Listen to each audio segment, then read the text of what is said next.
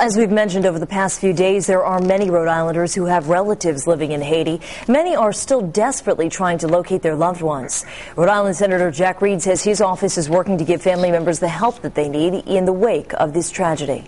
There's a strong connection between Rhode Island and Haiti, and many Rhode Islanders are, are there, and uh, we are trying our best to locate them and, and help their families determine their, what their status is.